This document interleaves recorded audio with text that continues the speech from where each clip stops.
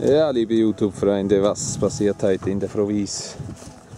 Ich bin die äh, alte Drainage am erneuern.